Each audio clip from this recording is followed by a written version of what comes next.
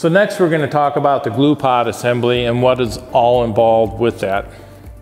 So as you can see, here's the cover. This is where we actually add our glue pellets for the glue pot assembly.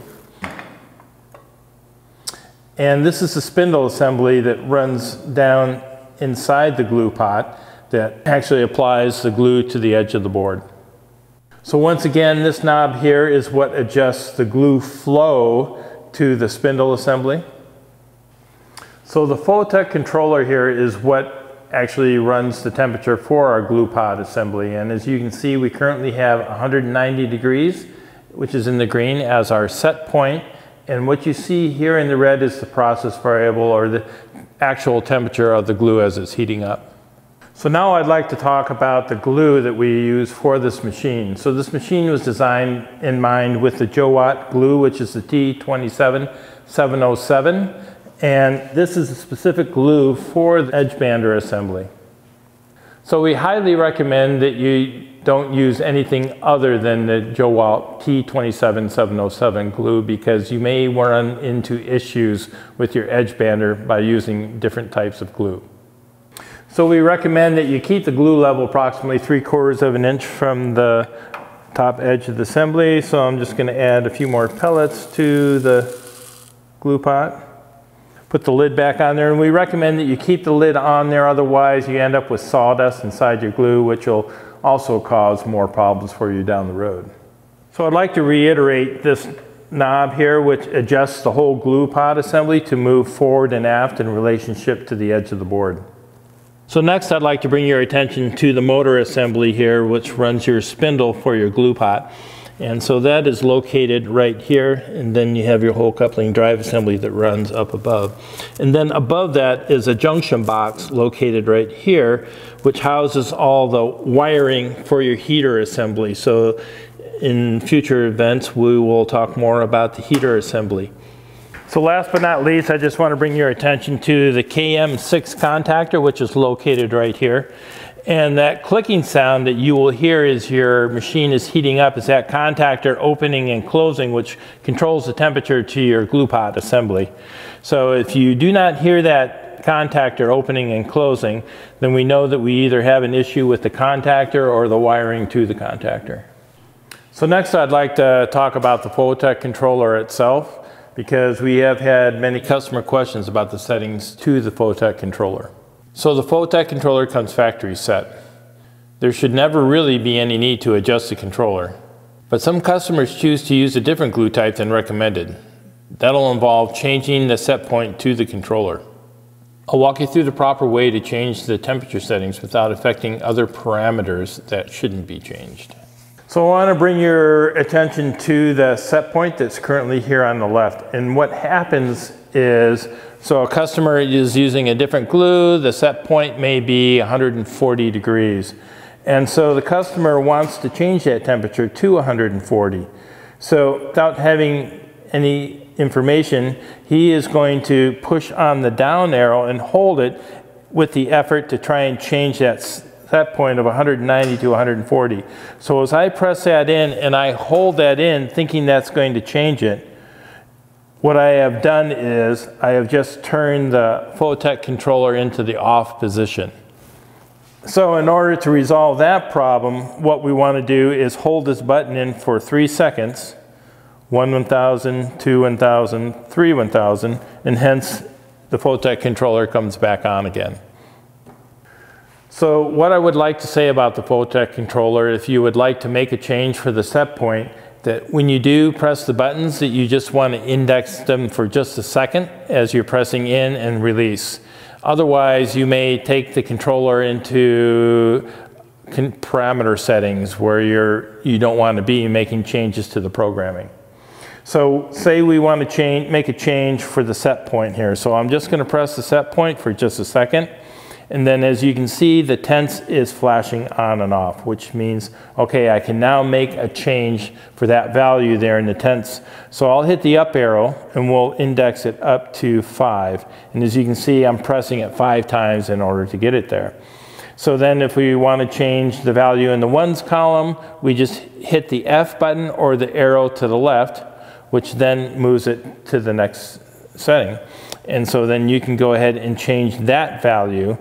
Say I want it to be 5 also.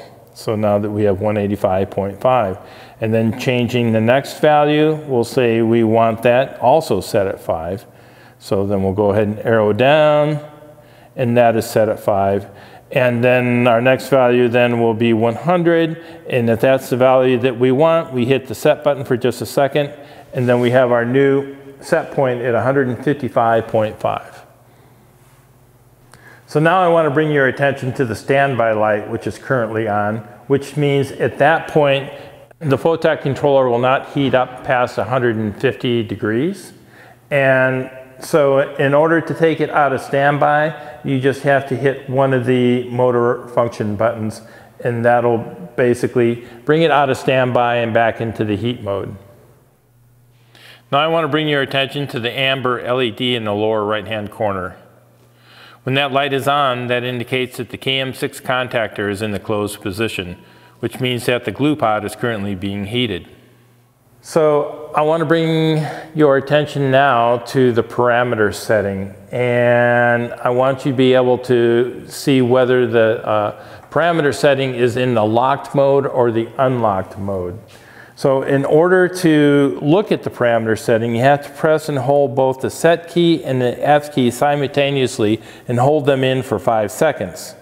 So 1 1000, 2 1000, 3 1000, 4 1000. Well, so currently we have a 1 as an indicator here and we want to make sure that this is the state that the controller is in because if it is in the 0 mode, then that means that your parameter settings can be accessed inside the controller, which you don't want to be there because you can make changes to the parameter settings which will change how your controller actually functions in relationship to your glue pot assembly. So we're going to change this back to 1. Oops, we're at 2. We want to be at 1 and then just hit your set button and then that puts the controller back into normal operation mode. This is our set point, 190 degrees centigrade, and this is our process variable at which the temperature is currently at the glue pot assembly. We're at 150 degrees. So that noise that you hear in the background, that clicking of the on and off, is the contactor, the KM6 contactor that is, when it's in a closed position, is actually putting heat to the uh, glue pot assembly. So in these lights down here are indication when that yellow light comes on, that's indicating that that contactor is in the closed position and is currently heating the glue pot assembly. We're in the preheat for the Fotek controller, which is heating our glue pot assembly. Um, once our temperature is within the range of 170 to 180 degrees, the spindle assembly will come on, and that is all calculated and determined through the PLC system. None of the other motor functions will turn on either until the glue spindle assembly has turned on. So as our Fotek controller is currently heating up, we're going to be looking at about 180 degrees, at which point the spindle assembly will turn on. If this heats up all the way to 190 degrees and your spindle has not turned on, then it could possibly be because our door switch here isn't satisfied for the panel feeder. We also have a door switch here on the back side uh, for the cover assembly. And then there is a pressure switch, which we looked at in a previous video, um, which needs to be satisfied as well. So you need to make sure that you have your air compressor on, that it's hooked up, and that you have approximately 100 psi air supply pressure to the machine. Look at page 74 in your manual, and that will bring you to an electrical diagram. And looking at this top rung here, this basically tells us all the things that need to be satisfied in order for this machine to run effectively. So you have your uh, five overload, QM1 through QM5, your stop switch, that needs to be in the depress position. Uh, and then you have your SQ1 and your SQ2, which are your two intrinsic safety switches. Uh, your SP1, which is your pressure switch in the back. And once all those are satisfied, then the machine will be ready to run. So we've removed the cover assembly at this point just for illustration purposes only. Once again, I just want to bring your attention to these two switches here. I currently have them in um, bypass mode, so to speak. I removed the striker off of the panel feeder that you can see right here. As I pulled that off, you heard that pressure switch release. That means that none of the other operating motors will will not run until this switch is satisfied. So as I go ahead and put that back into place, you heard that click and that means that that pressure switch assembly is now satisfied. And once we hit 180 degrees, then the spindle assembly will come on and all our motor functions will be ready to run at that point.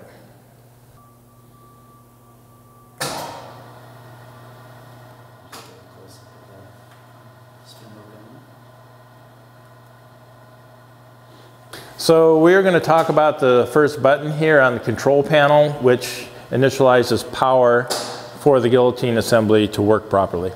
So as I press on this switch, it is putting power from the PLC to this first roller switch that you see right here on the table assembly. So as I press in on this switch, that all I'm doing right now is just simulating this panel right here rolling over the tabletop. is that panel continues forward and the end of the board allows this switch to release, at that point it will actuate the guillotine assembly, which I will do here momentarily.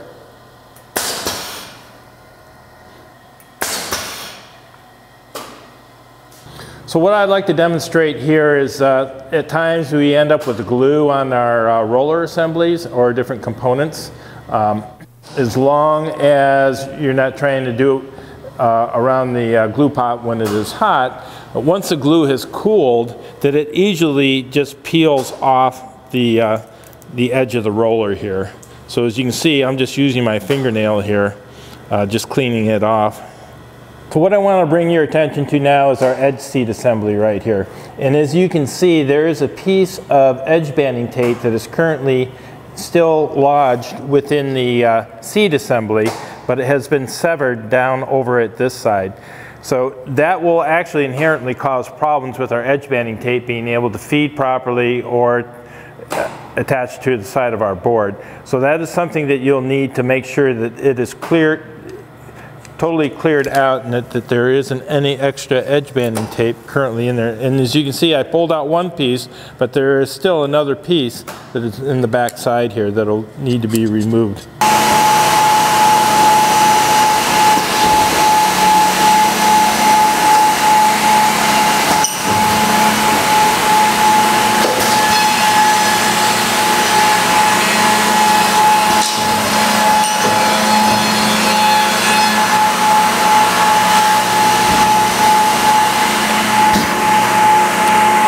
So this is what uh, our edge banding will look like once it's complete and it's working effectively.